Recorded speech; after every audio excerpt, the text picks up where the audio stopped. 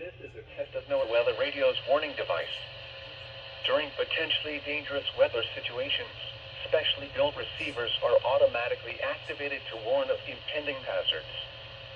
When there is a threat of or existing severe weather, the test is postponed until the first available good weather day.